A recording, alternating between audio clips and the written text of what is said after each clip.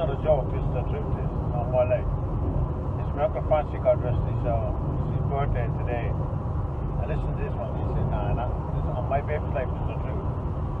It's his son's Francis' birthday today.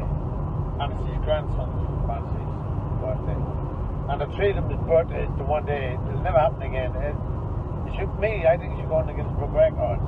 Tree Francie, the punk, punk Francie, his son Francie, and Francie's Francie's his, son, his grandchild, and the of Francie, and the three of birthdays on the same day.